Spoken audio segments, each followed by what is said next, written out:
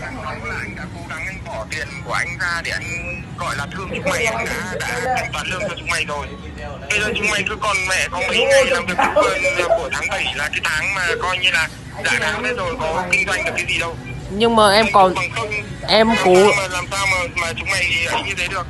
Nhưng mà em là cái thằng cố gắng nhất để mà kéo khách về quán mà anh. Bây giờ bọn em toàn sinh viên bọn em đi thuê nhà em ơi, thôi bây giờ đừng có nói những cái câu chuyện như thế, anh chịu rồi. Bây giờ cái quán, cái chỗ, giờ số 6 đấy là bên công ty đã giả đất cho người ta không ai kinh doanh ở đấy nữa.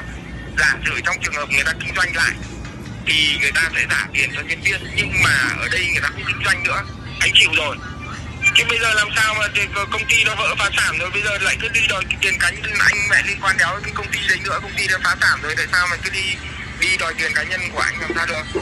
Đúng không? Ờ mà từng, bình thường ấy làm cái nghề ba sàn hay là dịch vụ đấy là phải chấp nhận cái câu chuyện rằng là quán người ta đóng cửa rồi người ta không kinh doanh nữa người ta phá sản rồi. Thì nó là cái rủi ro cho tất cả mọi người.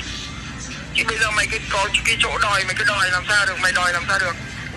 Nó cũng biết điều thôi người ta đã cố gắng người ta giả định cả tháng 5, tháng 6 là những cái tháng mà coi như là không kinh doanh gì cả.